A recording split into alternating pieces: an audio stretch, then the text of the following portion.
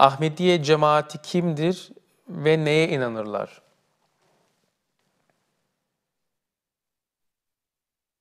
Rahim.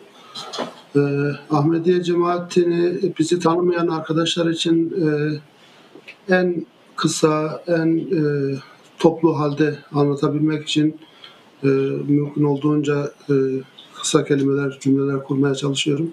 Onu düşünüyordum. E, Müslüman Ahmediye cemaati 1889 yılında Hz. Mirza Gulam Ahmet Kadiyani Aleyhisselam tarafından kuruldu. Allah Teala'nın emri üzerine kuruldu.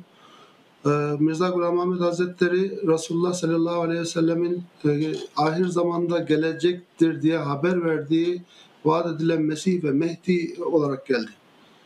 Ve e, bu yepyeni yeni bir din değildir.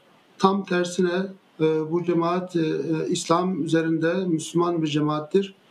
İnançları da Sünni Müslümanların inancıyla mutabıktır Tabii ki e, yüzde yüz e, her konuda hemfikir olamıyoruz. Çünkü bu bu çağda Müslümanlar artık birçok fırkalara bölünmüşler ve, arasında ihtilaf olmayan bir grup neredeyse e, hiç yoktur. Ama şunu gönül rahatlığıyla söylüyoruz ki Hz. Resulullah sallallahu aleyhi ve sellem ve ashab-ı kiram hangi yol üzerinde, hangi inanç üzerindeyse Müslüman Ahmediye cemaati işte bu yol, işte bu sünnet üzerindedir ve e, 1889 yılından bu yana e, biz e, İslamiyet'i galip kılmak için dünyanın her köşesine onun mesajını ulaştırmak için gece gündüz çalışıyoruz. E, şu ana kadar e, 209 ülkede yayılmıştır cemaatimiz Allah Teala'nın lütfuyla.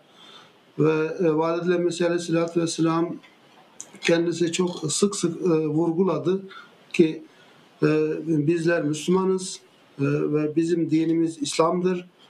Ve İslam Allah Teala'nın son dinidir. Bundan sonra yeni bir din gelmeyecektir. Hz. Resulullah sallallahu aleyhi ve sellem Hatemün Nebiyindir ve bütün peygamberlerden daha üstündür ve e, e, kendisine e, tabi olmak dışında artık hiçbir peygamber gelemez ve ancak bir peygamber Resulullah sallallahu aleyhi ve selleme ve İslamiyet'e hizmet eden olarak gelebilir. Kur'an-ı Kerim aynı şekilde son şeriat kitabıdır ve asla onda bir değişiklik yoktur, olmamıştır, gelecekte de olmayacaktır. E, Valide Hazretleri diyor ki benim gelişimin gayesi e, İslamiyet'i yeniden dünyaya üzerinde galip kılmaktır. Ben bu bir tohum ekmeye geldim. Şimdi Allah Teala'nın lütfuyla bu tohum kök salacak, e, filizlenecek, dal budak salacak ve e, gün gelecek bütün dünyayı kaplayacak. İşte bunun için Müslüman Ahmediye cemaati gece gündüz demeden çalışıyor. Dünyanın her kıtasında hemen hemen her ülkede yani insanın yaşadığı neresi varsa her yere bu mesaj ulaştırılmıştır. Cemaatin merkezleri kurulmuştur.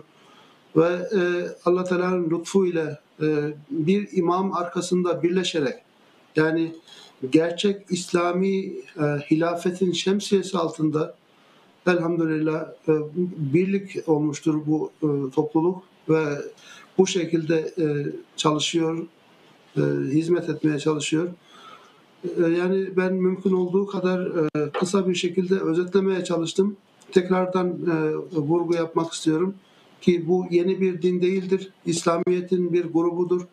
Ama e, daha önce de söylediğim gibi e, tefsir anlayışımız e, diğerlerinden farklıdır. E, yani Resulullah sallallahu aleyhi ve sellem zamanında ashab-ı kiram ve ondan sonra gelen e, büyük güzide İslam e, alimleri nasıl anladılarsa bizimki de ona uygundur bizim anlayışımız. Bu çağın belki bazılarıyla bu çağdaki bazı din bilginleriyle e, farklı düşünüyor olsak da e, ama geçmiş e, herkesin kabul ettiği e, İslam büyükleriyle biz aynı görüşler içindeyiz. Yeni bir şey getirmedi Hz. Mehdi Aleyhisselatü Vesselam. Ve Sünni görüşlere yakınız. Şiilerin yani biliyorsunuz o çok öne çıkan görüşleri var. Biz o, o görüşleri paylaşmıyoruz. Raşid halifeler dediğimizde Hazreti Bekir, Hazreti Ömer, Hazreti Osman ve Hazreti Ali anlıyoruz biz. Ve e, Kur'an-ı Kerim bizim e, dini kitabımızdır ve dini kaynaklar arasında birinci derecede Kur'an-ı Kerim yer alıyor.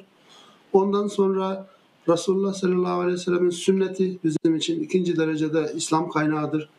Ve bundan sonra sahih hadisler e, dinimizin üçüncü kaynağıdır.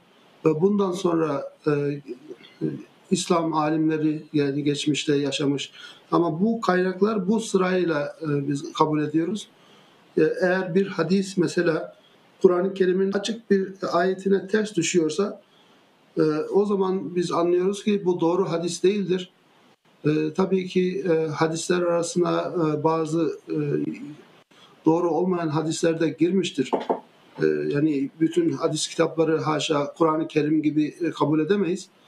Onun için bu sırayla kabul ediyoruz. Kur'an-ı Kerim birinci sıradadır.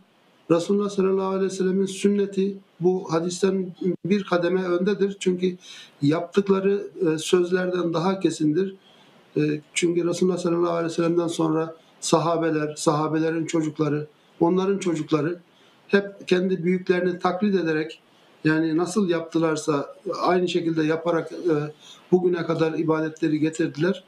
Onun için e, Kur'an-ı Kerim, sünnet, hadisi şerif, ge- geçmiş alimlerimizin görüşleri bizim için bu sırada değerlidir. Yani kısaca tarif Müslüman Ahmediye cemaati kimdir, neye inanır dediğimizde ancak bu şekilde yani özet olarak tarif edebilirim. Müslümanlar neye inanıyorlarsa yani Allah Teala'ya inanıyorlar, e, Kur'an-ı Kerim'e inanıyorlar, kitaplara, meleklere, ahiret gününe biz de hepsine inanıyoruz.